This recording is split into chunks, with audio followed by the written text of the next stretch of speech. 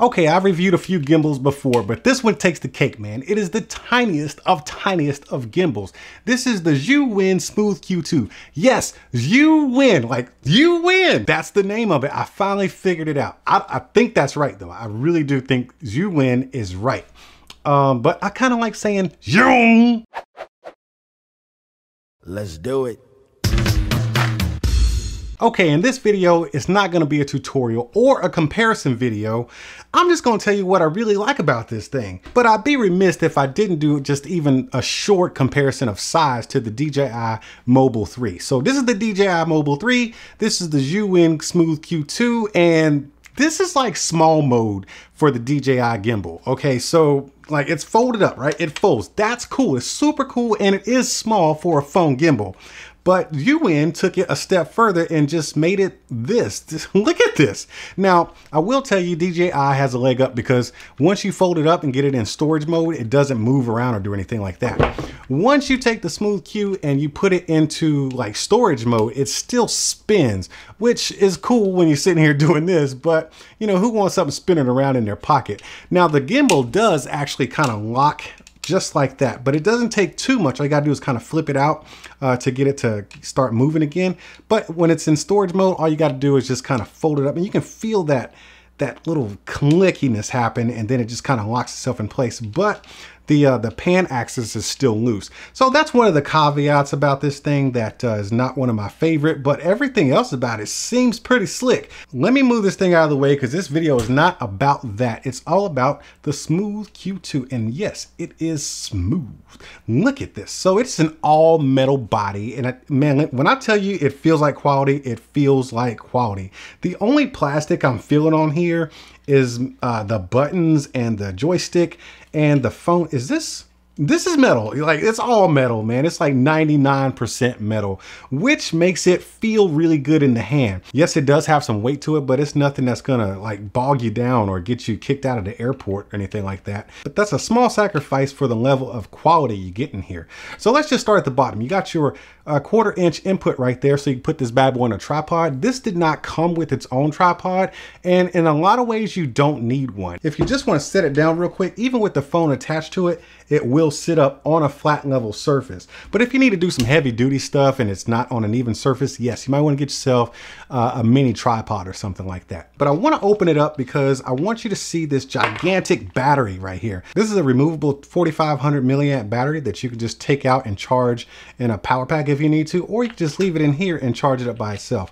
Now, I'm not going to go into a bunch of specs, but I will tell you that you will get about 17 hours worth of playing time out of this uh, gimbal right here with that battery battery in particular. Now it's time to show you some of the coolness that this thing brings to the table. When it's time to balance this thing, it's actually fairly easy. All you got to do is put it in the clamp that comes with it, and then you basically just kind of turn the phone face down and you get it as level as you can. So my phone is kind of kind of top heavy. Then I'll scoot it back a little bit, then bring it down just a little bit and it's fairly level. It doesn't have to be perfect because this thing has some super strong like Herculean motors. To power it on, all you got to do is hold the power button for about three to five seconds. It starts to flashing right there and then it goes into gimbal mode. The motors are active. If you do want to power down the motors and put it in standby mode or something like that, all you got to do is hold down this joystick right here for about two to three seconds and then it just kind of goes limp. It's like such. But we want power because I'm ready to play. Here we go. You have several modes in this thing, but some of them are clearly labeled. You got pan follow, lock, follow, and POV. And then when this POV light starts flashing, that means it's in vortex mode. So I'll just go ahead and cycle through those right now. In order to get to the different modes, all you have to do is press down the joystick button once and it goes to the next mode and I'll just cycle through them as we go. And the fifth mode is vortex mode. And in order to go backwards, all you gotta do is double click and it'll go back to the previous mode in case you don't wanna toggle all the way through all of them. Now there's two other modes that you may never know about unless you start watching a ton of YouTube videos, kind of like I did. First, there's selfie mode. So right now my rear facing camera is facing you. So I'm recording like you, like the camera, right? But what if you wanted to use your good camera, like the one on the back here? All you gotta do is triple tap the power button and it comes back and it faces the rear facing camera at you and you're using your good camera with the best stability you can get from a mobile phone, man. This thing, it's kind of creepy the way gimbals just kind of balance and stare at you the whole time. Let me get this out of my face. And then another mode may or may not apply to your phone. I have a super duper wide angle camera on this phone. So I can just capture like almost 180 degrees with this camera. But with that being said, you're gonna get this little elbow in your shots. And all you gotta do is triple click the record button, one, two, three, and it kind of tilts it back and kicks that motor down. That way you don't have it in your shot. Genius! Now here's a bonus mode. Let's say you're one of those weirdos who like to record in portrait. Well, they thought of that too. All you gotta do is manually spin it and it's ready to film you just like this. And you just hold it and record in portrait, you freak. But with all these cool modes and features that it has, let me tell you about my favorite feature. It's not that it has all these modes. It's not that I can be a freak of nature and record myself in portrait. You know what my favorite thing about this gimbal is? If I'm taking a break from filming or I need to catch a phone call or manipulate my phone somehow, all I gotta do is turn this thing this way and it kind of disables the motors. It goes into standby mode immediately. And then I turn it around on the back. I flip this little red switch to unlock. And then all I gotta do is just kind of tug on it and pull my phone off and now I can talk on my phone without the gimbal in my hand and I can text and do everything I want to do. And when it's showtime again, all I got to do is put it on there again and lock that little red switch in place, pull it back out, and I'm set to go again. It's already on. It's off of standby mode. This is so sweet. Okay, okay, okay. I get excited about the smallest things. Let's take this thing outside, get a little bit of footage.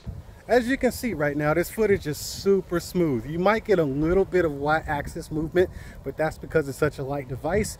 Uh, but other than that, man, it does a fantastic job. These motors are super strong because this phone isn't even light. I want to take you back to the selfie mode. If I triple tap three times, one, two, three, it spins around and it goes into selfie mode using the same camera. Is that not slick or what? Uh, because this camera quality is much better than the uh, front-facing camera, and that way you get all the glory of my handsome face here. I mean, just look at it. Now, this footage that you're looking at right now is super smooth, and that's just because I'm walking, and I'm actually walking at a fairly quick pace, but let me pick up the pace a little bit.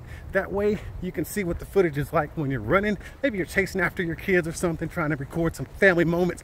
God, I'm out of breath. Let me put it in selfie mode. So now I'm running and you can see that I'm running and I'm breathing heavy because I got on jeans and these jeans are not made for running. All right, that's enough of that. I'm tired of running and I'm done shooting this video. You've seen all the cool stuff it can do. You've seen how smooth and stable it is. And you look, I think this day and age, everybody who's taking video on a mobile phone should definitely have a gimbal, man. And the Smooth Q2 definitely gets the job done. I know when you take your footage on your phone, your footage is all shaky because your hands are doing like this and you're barely paying attention. Then you go back and watch it, and it's like, oh man, I gotta delete this because you can't even see what it is. Get yourself a Smooth Q2, man. Simple as that. Look, I ain't no expert on this kind of stuff, but I do know smooth when I see it. If y'all had a good time hanging out, man, make sure you throw those emoji hands up in the comment section, and I'll see y'all at the next one. Hey, where you going? No, no, no, no. Sit back down. We got to talk about this. You didn't have a good time?